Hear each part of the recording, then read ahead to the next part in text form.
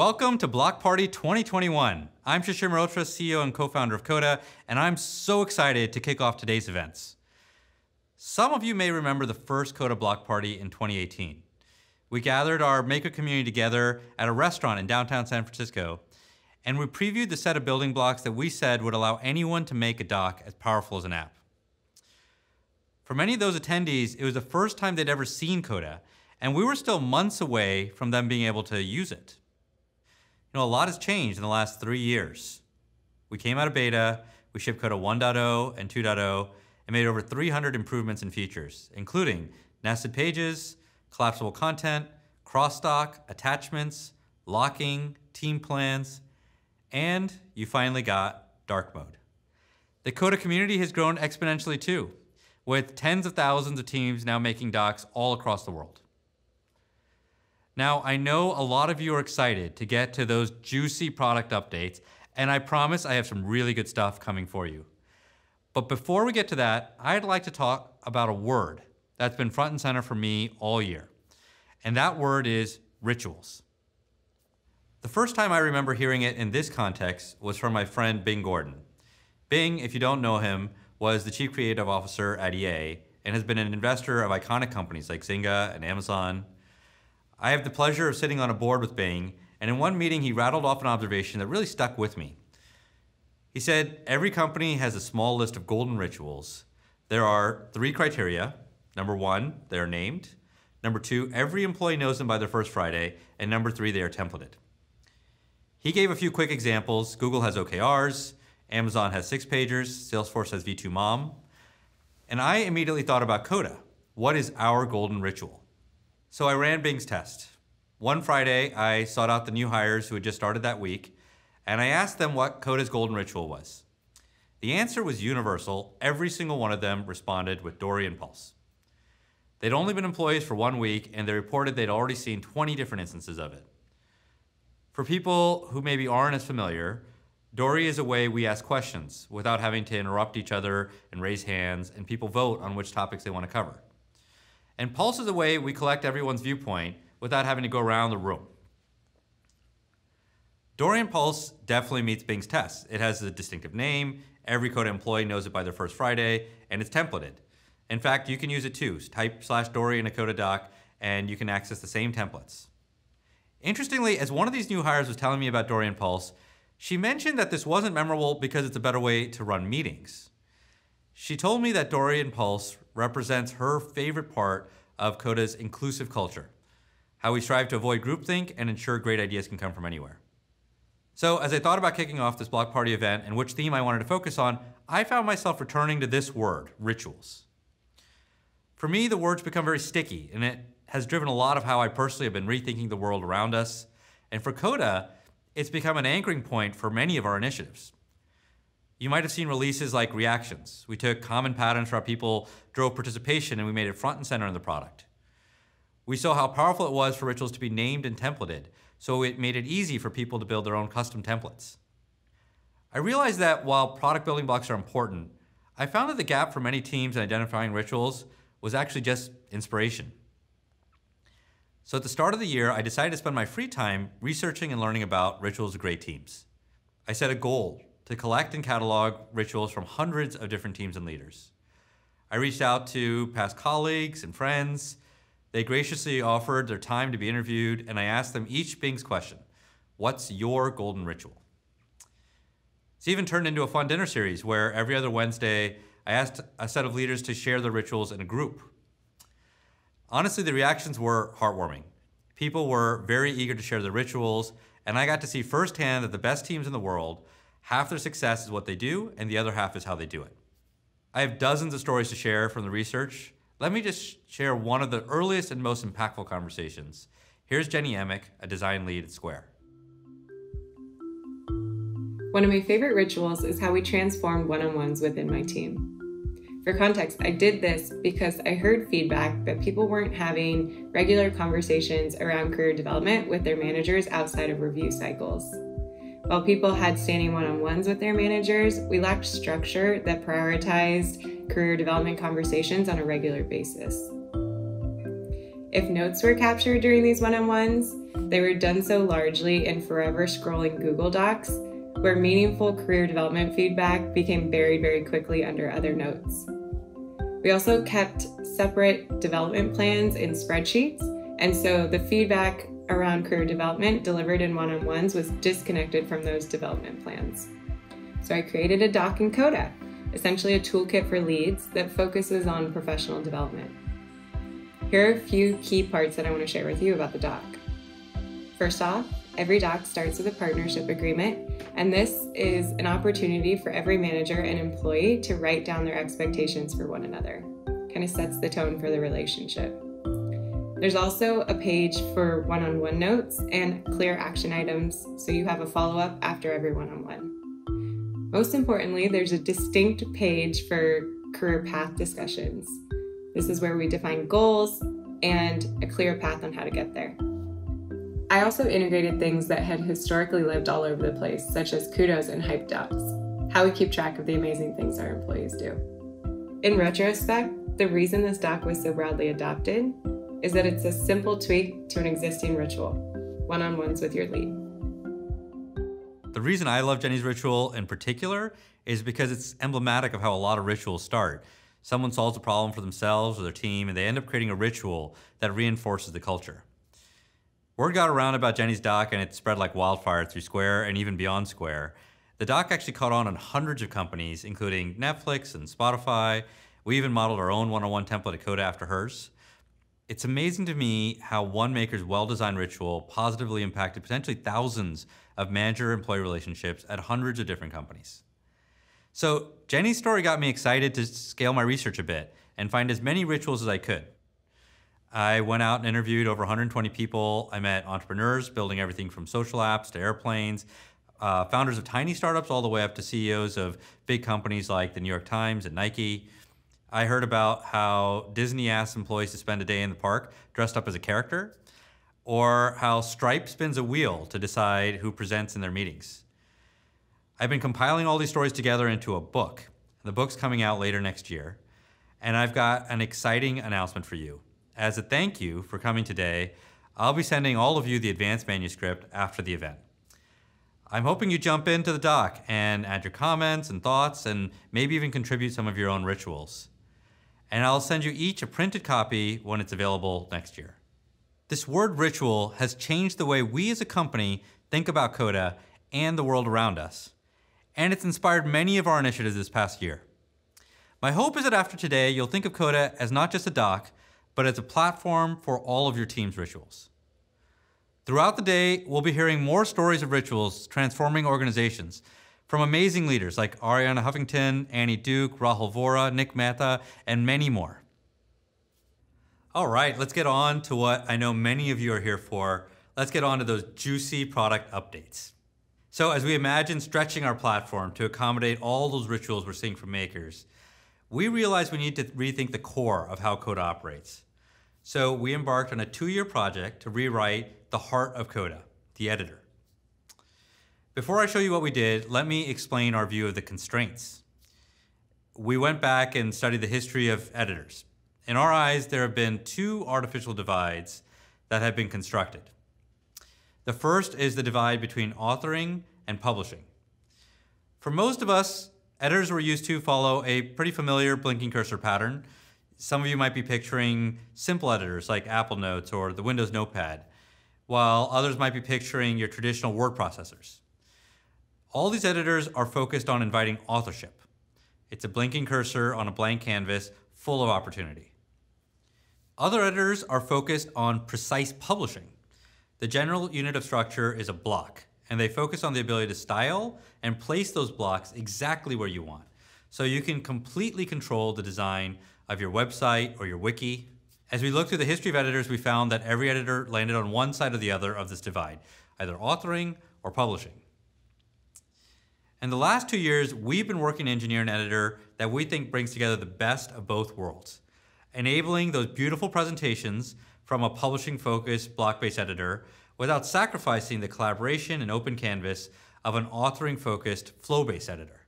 This unlocks the first building block in the new editor, Canvas Layouts. You may have noticed these little handles show up in the product about a year ago. Now you can use these to not only rearrange paragraphs to be on top of each other, you can drag them off to the side next to each other. You can also drag here to arrange the size of the different columns. I can drag over images. I can even drag over charts, tables, whatever you'd like. Now you can finally use Coda for publishing like a block-based editor. But there's a key question. How good is it as an authoring surface? Does it still support the expectations we all have for flow-based editors? For those of you that are pretty close students of editors, you probably already have in mind the tests you would run to verify this. But for the rest of us, let me run through a few of the typical tests we run for good authoring experiences in editors. First one is called the cursor test. So you place your cursor somewhere in your document and you hit up until you get to the top of the document. And then you hit down and see if you get back to the exact same spot. Another one is the collaboration test. You ask a friend to join your doc and you try to edit the same block or paragraph alongside your friend. Most block-based editors actually use the block as a collaboration boundary. So two of us can actually edit at the same time. But as you can see here, the new Coda editor still supports seamless co-editing. One final test is the selection test. Try to select half of one block and part of the next block. Most block-based editors force selection to be at the block level, which makes sense for their paradigm. But look, I can select just fine here. Oh, and this is fun. Someone is editing right in the middle of my selection, and you'll notice that my selection stays right in the right place. This simple idea opens up a really broad set of scenarios. You can make a resume as beautiful as a website, formatted just the way you want. It actually works with any object in Coda, so you can build up your team dashboard, putting all your live data in one single place. I've been using the new editor for the past few weeks, and I'm really proud and excited about what the team accomplished here. It took a couple years of work, but it really feels like that perfect blend of authoring and publishing. Okay, now let's talk about the second artificial divide in document editors, and that's between structured and unstructured information. For decades, you were asked to choose do I create a doc or do I create a spreadsheet? And in Coda, we brought tables and text together. But we didn't really crack it entirely. There were still things you could do in a canvas, but not in a table, like add a dory. The new editor changes all of that. Now we can bring the flexibility of the canvas inside a table. The way this rolls out is as a new column type. You can see here that I'm now inside a row, but I get the full power of the same canvas editor. I've got images, I've got collapsible regions, and I can even drag things side by side, just like I was doing before. It's collaborative, multiple people can make edits at the same time. And the rest of my Coda building blocks work here. So I can type slash dory and capture my team's feedback. One obvious question, why column type? Be honest, we had a lot of debate on this topic. The easiest way to do this would have been to create a canvas as an attachment to a row. But in order to truly connect structured and unstructured together, it needs to be able to connect to the rest of Coda's building blocks. Let me show you an example. We gave a few teams early access to this new building block, and here's what they dreamed up. This first one is from the team at Pinterest. Pinterest runs all their planning process in Coda. Their OKRs, their strategy write-ups, their specs, this central doc is used by over a thousand people and it's enormous. Here's what their page list looks like. And we work with their team to build an alternate version with Canvas column types. All the pages are now in a table. You can see here. Not only is this a lot tidier, it creates a single place to see everything about a team, all the structured and un unstructured information in one place. And as they add new teams, it standardizes their ritual, ensuring every team can operate the same way. Here's another one. This is from the team at Digit. We showed them the Canvas column types, and they had a question. They said, wait, if it's a column type, does that mean that the Coda formula language can get access to the data in the canvas? Our answer was, yes, of course. It can work like any other building block. It connects to buttons, packs, and of course it connects to formulas. So here's what they came up with. This is their table of meeting notes, but with two special columns one that extracts the summary of the meeting, and the other one that extracts the action items. Now you can watch as we update these meeting notes and the summaries and the action items are all automatically updated. It's pretty amazing, isn't it? Rebuilding the core editor of Coda was a super hard decision. We realized that if we want to be that blinking cursor of choice for a billion people, we needed to invest in a best-in-class editor.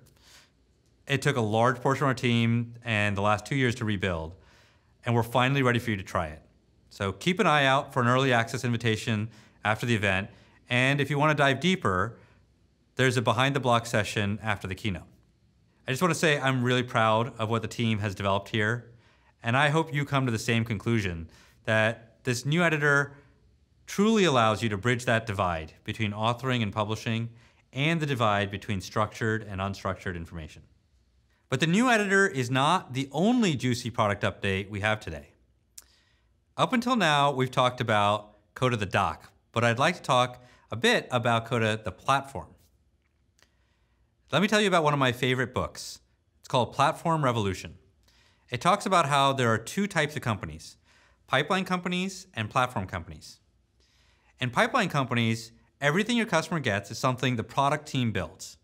But in platform companies, the experience of your users and customers is mostly driven by those users and customers themselves.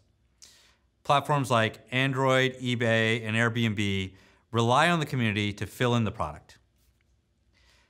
From the beginning, we've thought about Coda as a platform where anyone can build docs as powerful as apps. We give makers a set of building blocks. They turn them into ingenious creations for all the people around them. And since then, we've been on a journey to make good on an even broader platform aspiration. Last year, for example, we took a big step forward with the launch of the Doc Gallery, allowing makers to share their creations with the world. Makers have now published thousands of docs, and the gallery gets millions of views. Are makers considered a key part of the Coda offering? Another type of platform aspiration is extensibility. Since the beginning, makers have pushed us to make it easy to extend and integrate with Coda. So when we launched our beta product three years ago, we did what we viewed as the minimum bar for modern products, and we launched an API. This was aimed at developers, and it's mostly been used for integrations. With Coda 1.0 in 2019, we took a much bigger step forward and introduced a different type of extensibility with Coda Packs. The key idea here was to enable extensions that could modify the core building blocks of Coda. For example, you can take a building block like buttons, and with a pack, you can transform it into an action that sends text messages on demand. Or a pack can transform a table and turn it into a live data sync from Salesforce or Gmail. You can even extend Coda formulas. They can translate languages, compute statistics, and create nifty visualizations. Packs can extend Coda in a million different ways, but there's one big problem. Right now, Coda is the only one that can make them. We're about to change that. I'm excited to announce another big step in making Coda a platform in the truest sense. We're going to invite anyone to build packs and extend the core building blocks of Coda. We're introducing a new Pack Studio. You can build a pack in minutes in your browser, no download required, and minimal coding knowledge needed. Or if you prefer, there's a command line environment where you can write almost anything that TypeScript allows. You can build packs that are as simple or as complex as you like. You can come up with new formulas, sync tables, templates, slash commands, you can even integrate with different authentication systems. We've had this live for a dozen early partners for the past few weeks, and here's a little taste of what people have built so far. I built a HubSpot pack. I built a Yelp recommendations pack. I created the Plaid pack. I built the uh, public transportation pack. I built a Giphy pack that will return GIFs directly from Coda. Squared away has a doc that keeps track of all their finances and the people that they need to pay. Because of the Gusto API and the Coda Pack, they'll be able to hit that single button and it will also go into Gusto and that pays all of their team members directly out of Coda, which is very exciting. This is the Giphy pack. If you use Giphy in Slack, it always shuffles everything. And so if you see one that you like, but you're not really sold on it, and you try to find something better, you can't really get back to the one that you really like, right? So when you search something in Giphy now, it will return about 50 results, and you can actually parse through them by entering a number between zero and nine. And we're really excited. We built out a pack for Coda that allows you to pull in highlights from your Zoom calls. I could see this feed, if you will, of all the kind of interesting, noteworthy moments that are happening across all of our customer calls. So we started with the CRM because that was really the core data. Create things like pipeline dashboards in Coda. We can also have a list of hot leads. I use the Yelp API to build something fun. So if I'm looking for a sushi in Tokyo, I would just click suggest me and these suggestions will start popping up. What I wanted to do first was create a Mint tracker, but Mint runs on Plaid. So you can just create a Plaid API. So here's an account that I've set up already, and I can sync it with the table, and I'll get an information from Bank of America and load all those transactions within Coda. This is a demo of the YouTube Studio Pack, so I can sign in using my YouTube channel. Coda is going to pull in all of the channel statistics that we've specified for my channel. This time, instead of by day, we're gonna see the data by video. And we have the subscribers gained and lost, so we can try to figure out what about this video has been helpful in growing my channel? There are physical GPS on buses in San Francisco. You can sort of take all the stops and turn this subtable into a chart. There's Market Street there, and there's the shape of the coast. But the really interesting API here is the predictions API. You get a list of the next trains that are coming. With a little formula here, you can sort of count down until that arrival time. The bus arrived five seconds ago, and we can see that is in fact true. Thanks.